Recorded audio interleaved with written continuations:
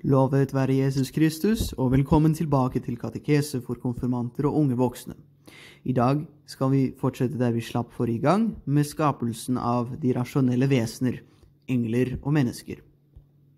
Så la oss sette i gang. La oss først huske hva vi lærte sist. Den hellige treenighet skapte hele verden, himmel og jord, tid og rom, synlige og usynlige ting. Gud gjorde dette på seks dager. De første tre dagene kalles adskillelsesverket, hvor Gud skiller lys fra mørke, hav fra himmel osv., og de tre siste kalles utsmykningsverket, hvor Gud fyller hvert av domenene med det vakre. Skaperverket er delt inn i et hierarki basert på hvor likt det skapte er med skaperen. Selvsagt er det en uendelig forskjell mellom skaperen og det skapte, mellom det ubegrensede og det begrensede, men det er også en stor forskjell mellom skapninger med forstand og skapninger uten forstand. Vi så at eh, det Gud skapte, ble mer og mer levende, mer og mer selvbestemt, eh, men vi fant aldri ut hvor engler kommer inn i bildet. Fra åpenbaringen vet vi jo at det finnes engler, rent åndelige vesener som taler på vegne av Gud. Det var engler som steg opp og ned eh, fra himmelen i Jakobs drøm. Det er det som kalles Jakobs stige. Det var eh, en engel som brakte Maria budskap om at hun skulle bli Guds mor, engelen Gabriel. Og det var engler som fortalte kvinnene ved graven at Herren var oppstanden. Eh, engler kan ta forskjellige skikkelser. De kan snakke med mennesker i drømme eller når de er våkne, f.eks. som med Josef. Um, de kan dukke opp, eller de kan forsvinne. De har navn, og de har stor intelligens. Siden de kan forandre utseende og til og med forsvinne, kan de heller ikke ha noen kropp. De tar ikke opp fysisk plass. En engel er en ren ånd. Selv har de ingen kropp, men de kan påvirke den fysiske verden, som er det de gjør når de fremstår som bevingede vesener, f.eks. Eh, det hadde vært kjedelig å, å tegne en engel hvis vi, hvis vi, ikke kunne gi dem noe synlig. Eh, de er også personlige, ettersom de har navn og kan kommunisere. Så hvor i første Mosebok ser vi at engler blir skapt? Vel, den hellige Thomas Aquinas og den hellige Augustin er enige om, og når de to er enige om noe, er det mest sannsynligvis riktig. Ehm, de er enige om at skapelsen av englene foregår den første dag, og at englene betegnes med ordet lys. Altså, når Gud sier 'det blir lys', da skaper han englene.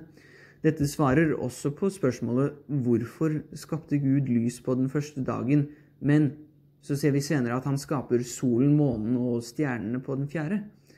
Vel, hvis lyset Gud skapte den første dag, ikke var kroppslig lys, men det åndelige lys som englenes forstand er, ja, da har vi en forklaring. Lys brukes ofte av Kirken om Gud selv. Tenk trosbekjennelsen. Eh, Gud av Gud, lys av lys, sann Gud av den sanne Gud, osv. Lys brukes også om fornuft, fordi lys er det edleste vi mennesker kan tenke oss av de synlige tingene som vi har i skaperverket.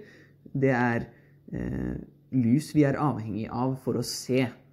Så når noen er veldig intelligente og klare i måten de uttrykker seg på, så kaller vi dem for briljante. Og det betyr lysende eller skinnende. Fordi de kaster lys over noe som før var formørket eller fordunklet. Engler er da det skapte lys. De ble skapt først, ved tidens begynnelse, fordi de er ansvarlige for resten av skaperverket. Så hvordan fungerer engler? Hva gjør dem så mye smartere enn mennesker? Vel, vi mennesker kan lære ting ved å sanse dem. Slik danner vi erfaringer og kan utlede generelle påstander eller prinsipper, da. Solen står alltid opp i øst. Det kan vi vite fordi vi ser solen stå opp i øst hver eneste dag. Men for et spedbarn er ikke det en selvfølge. De må, han eller hun må, må observere eh, at solen står opp i øst mange nok ganger til å forstå at sånn er det bestandig. Eh, det er altså basert på erfaring. Men engler har jo ikke sanser fordi de ikke har noen kropp. Så da har de verken følelser eller erfaringer som er basert på hvor mye de har sett eller opplevd. Eh, da må kunnskapen komme fra et annet sted. Og det er ved at generelle sannheter om naturlige ting innprentes av Gud i englens sinn når den skapes. Det vil si at Gud plasserer kjennskap til de tingene han har skapt, i engelen. Det er litt vanskelig å, å forstå. Det må man tenke på. Men det er den eneste måten som gjenstår når du ikke har erfaring. La oss, la oss, huske tilbake til de tre veiene til kunnskap erfaring, deduksjon og autoritet. Vel, hvis du ikke har noe, noen generelle prinsipper, så har du ingenting å dedusere fra. Så deduksjon lar oss ikke eh, lære noe fra, fra bunnen av, om du vil. Det er bare ved erfaring, ved å se ting eh, og oppleve dem, eller ved at noen åpenbarer det for oss, at vi kan oppnå generelle prinsipper som vi da kan bruke i deduksjon. Men når vi ikke har noe å dedusere fra til å begynne med, må, og vi ikke har noe, noen erfaring å basere oss på, ja, da er det bare åpenbaring, Guds åpenbaring, Gud som legger kjennskap til de generelle prinsippene i vår natur. Englene vet altså hva, hva de vet, ikke ved å erfare mange tilfeller, men med å få prinsippet inn først. De har forståelse av at solen står opp i øst, fordi konseptene stjerne, konseptet planet, konseptet om himmellegemenes bevegelse ligger i deres natur. Da kan de resonnere seg frem til hvordan en bestemt planet i et bestemt solsystem, jorden og en bestemt stjerne, solen, beveger seg i forhold til hverandre. Og da skjønner du at solen står opp i øst, som vi, som vi pleier å uttrykke det, da. Fordi de har prinsippene i, i forstanden sin og er fullstendig rasjonelle. Da bruker de heller ikke tid til å veie opp bevis for og imot eller å diskutere med seg selv eller andre. De ser med en gang eh, med fullstendig klarhet og sikkerhet hva det rette svaret på et spørsmål er. Fordi de har prinsippene og, og fornuften eh, til en mye eh, mer perfekt grad enn det vi har. Så vet vi også at det finnes både gode og onde engler. fordi nå har vi snakket om englenes forstand, men hva med englenes vilje? Vi kjenner navnene på tre gode engler. Mikael, Gabriel og Rafael. Vi kjenner også navnene på en god del onde engler, som, som vi kaller demoner. Men uh, vi vil ikke gi dem æren av å bli navngitt når det ikke trengs, så jeg trenger ikke å nevne noen. Bortsett fra den eneste som jeg nevner, er Satan, demonenes anfører, djevelen, den høyeste av alle engler, um, som besluttet å søke sin egen ære fremfor Gud, um, og dermed tapte nåden. Når mennesker og engler tar valg, så gjør de det på bakgrunn av fornuft. Mennesken, men, menneskenes vilje kan jo forandres, siden fornuften vår er begrenset. Som vi sa, vet jo en engel alltid hva det rette svaret er. Men vi mennesker vet ikke alltid det, fordi vi kan overbevises av andre argumenter og, og kan overmannes av, av, lyster som kroppen gir oss. Så nettopp fordi vi ikke eier prinsippene eh, det full, til det fulleste, så er det en grad av uvisshet i vår kunnskap som mangler hos englene. Og siden vi har uviss kunnskap, betyr det også at når vi tilføres ny kunnskap eller eller forstår noe på en bedre måte enn vi gjorde før, da kan vi forandre eh, synet vårt og altså beslutningene våre. På, på, den andre siden så kan vi også overmannes av, av kroppslig begjær, eh, som gjør at vi ikke tenker fornuftig og velger noe vi ikke burde.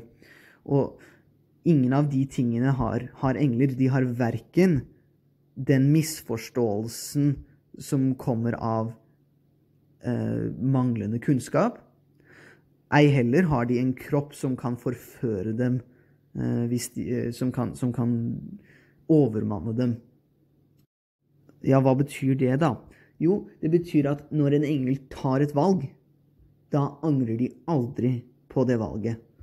Fordi de har, de har låst seg inn i den, det valget de tok, eh, og er fullstendig overbevist om at det var det riktige. Um, så, så når englene, de onde englene gjorde opprør, da ble viljene deres låst inn i det valget. De fordømte englene forblir bestandig fordømt og kan ikke omvendes fordi de ikke har lyst til å bli frelst. Så Noen lurer kanskje på hvordan en engel kan synde når han ikke har lidenskaper eller lyster som kan drive ham til unaturlige handlinger, og han har perfekt kunnskap om, om, om visse ting? Det er et godt spørsmål. Svaret er at man kan synde mot Gud på to forskjellige måter. Enten ved å bryte naturloven, eller ved å bryte med Guds overnaturlige lov. Det var ikke et brudd på naturloven å spise eh, av et frukttre, eh, slik som Adam og Eva gjorde. Men det, det var et brudd mot Guds overnaturlige lov, et brudd mot Guds direkte befaling om ikke å røre frukten.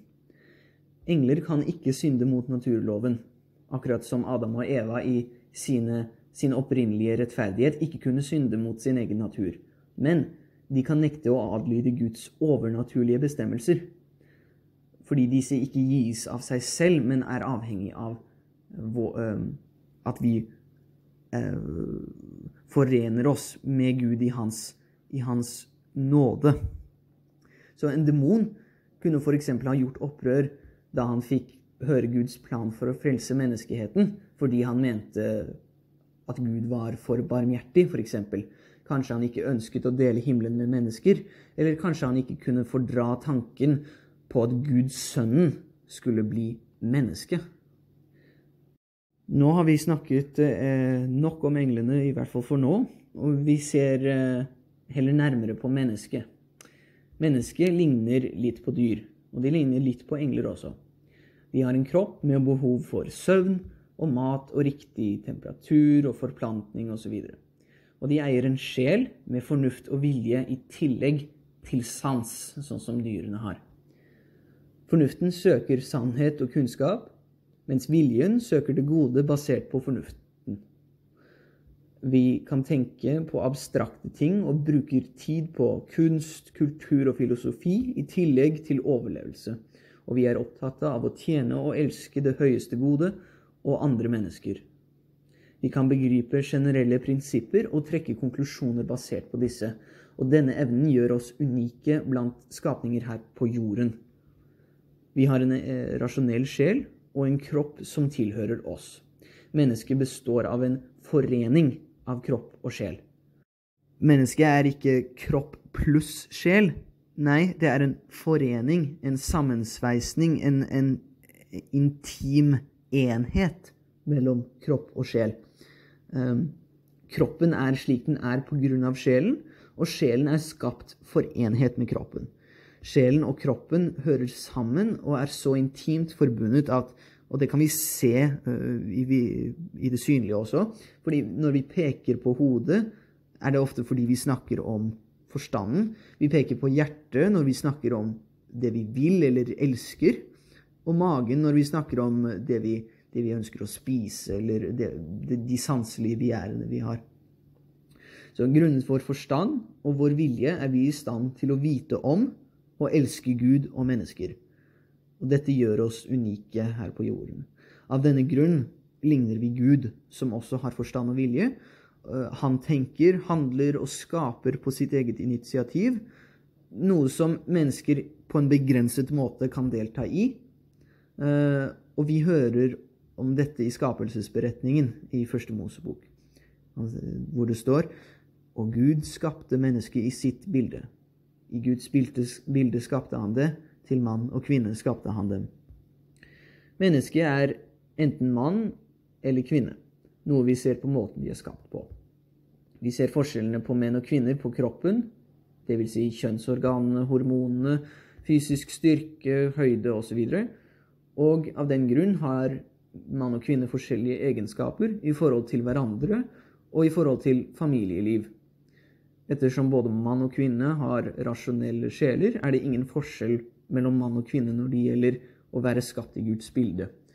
Mann og kvinne er altså like i verdi, men forskjellige i oppgaver som de egner seg til å gjennomføre på bakgrunn av måten de er skapt på.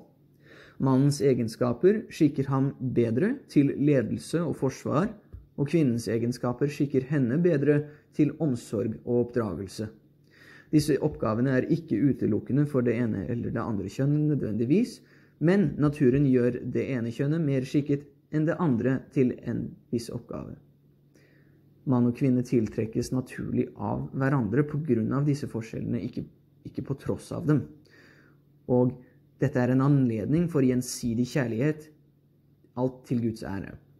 Dette er både klart fra naturen, ettersom å få barn krever en forening mellom én mann og én kvinne, og det er klart fra åpenbaring, siden det står skrevet de skal være ett kjød. Denne enheten kalles ekteskap som er rettet mot å få barn og for å forene ektefellene i kjærlighet og tjeneste for hverandre. Dette var det jeg hadde for denne gang, og jeg gleder meg til neste uke, hvor vi skal snakke mer om menneskets natur, om menneskets hensikt, den frie vilje og om lykken. Alt godt i Kristus, i Faderens og Sønnens og Den hellige ånds navn. Amen.